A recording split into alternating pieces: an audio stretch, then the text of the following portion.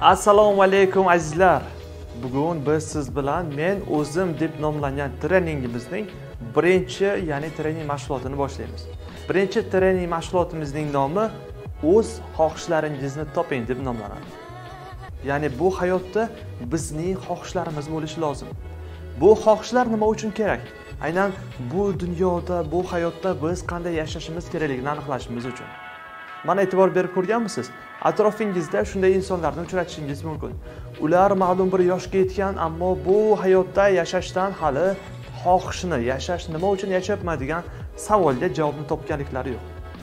Agar siz hozir hayotingizni nima uchun yashayotganligingizni aniqlamasangiz bu kelajakda sizni ko'plab bir imkoniyatlardan mahrum qilishi mumkin. Qanday imkoniyatlar bo'lishi mumkin?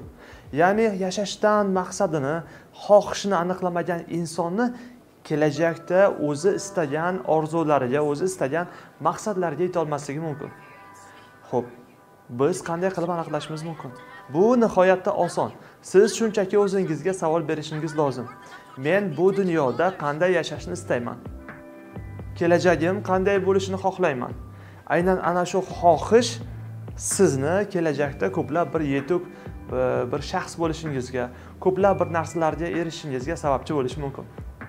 Xohishlarni qanday aniqlash mumkin? Xohishlaringizni aniqlashingiz uchun siz o'zingiz yaxshi ko'radigan yoki siz o'zingiz o'sha atrofingizda bor kasblardan atrofingizdagi bor mashg'ulotlar to'g'risida ma'lumot yig'ishingiz mumkin. Yuqorida biz o'z xohishlarimizni qanday aniqlashimiz to'g'risida aytib o'tdik. Nima uchun biz qaysidir e, xohishimizni aniqlashga biz ikkilanamiz? Bizda qo'rquv bo'lishi mumkin.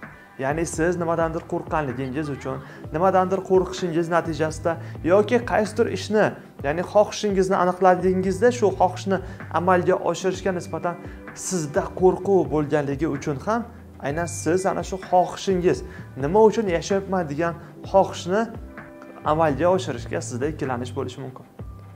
Siz xohishlarni aniqlashingiz uchun oq qog'oz olasizda oq qog'ozni uch bo'lakka bo'lasiz ya'ni bu ruchka yoki qalam bilan bo'lishi mumkin. Birinchi bo'lagiga siz o'zingiz bu hayotda sizni qiziqtiradigan narsalarni yozishingiz mumkin. Misol uchun siz yozishingiz mumkin o'qituvchilikka qiziqaman. Ya'ni o'qituvchi bo'lishga xohishim bor. Yoki bo'lishi mumkin shifokor bo'lishga xohishim bor. Yoki temirchi bo'lishga xohishim bor. Yoki usta bo'lishga xohishim bor. Duradgor bo'lishga xohishim bor deb siz yozishingiz mumkin. Ikkinchisiga esa ikkinchi bo'lagiga esa qo'limdan keladi degan bir jumlani yozasizda siz ana shu xohishingizni bajarish sizni qo'lingizdan keladimi? Masalan siz o'qituvchi bo'lish uchun ya'ni o'qituvchilik sizni qo'lingizdan keladimi? Ha bo'lsa ha yo'q bo'lsa yo'q. Agar sizda javob yo'q bo'lsa chiziq tortib qo'yishingiz mumkin ya'ni minus ishorasini qo'yishingiz mumkin. Xuddi shunday uchinchi bo'lagiga esa talab bor ya'ni kelajakda bu kasbga talab bormi?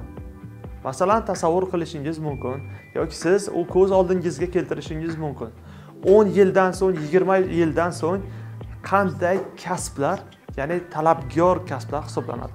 O'qituvchilik kasbi shifokorlik kasbi bular hech qachon talabdan tushmaydigan kasblar. Ya'ni har doim bularga talab bor.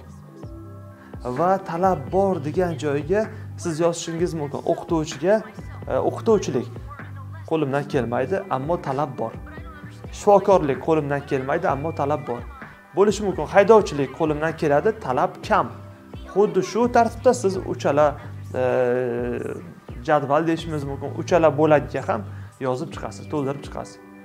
Ana shular ichida siz o'zingiz xohlagan siz uchun bu hayotda muhim bo'lgan xohishlardan birini aniqlaysiz. Ya'ni aynan shu xohishni aniqlaganingizdan so'ng sizda savol tug'iladi. Bu xohishni amalga oshirishda menda qobiliyat yo'q.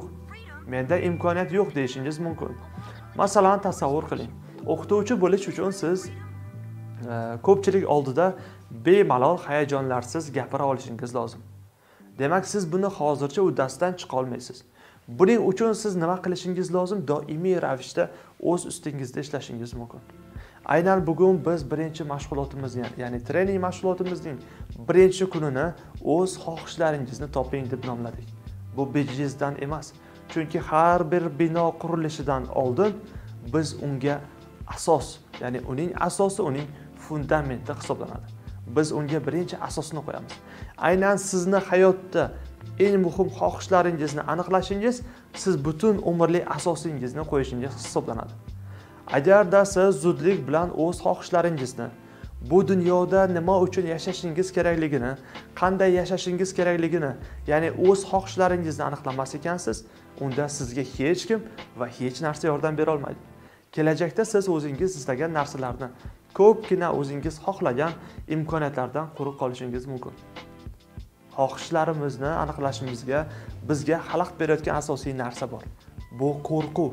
Agar siz xohishingizni amalga oshirishga yoki xohishlaringizga e, aniqlashga sizda qo'rquv bo'lsa siz hech narsani uddalay olmaysiz azizlar xohishlaringizni birinchi sizga berilayotgan vazifa shuki xohishlaringizni aniqlab oling va aynan shu xohishlaringizni keyingi darslarimiz orqali amalga oshirish mexanizmlarini ko'rib chiqamiz. Sog' va salomat bo'ling.